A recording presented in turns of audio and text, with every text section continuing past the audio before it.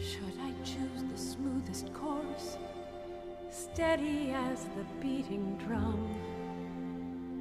Should I marry Kocoum?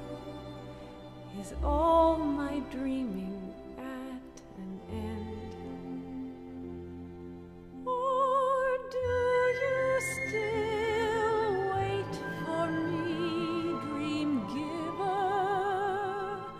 Just a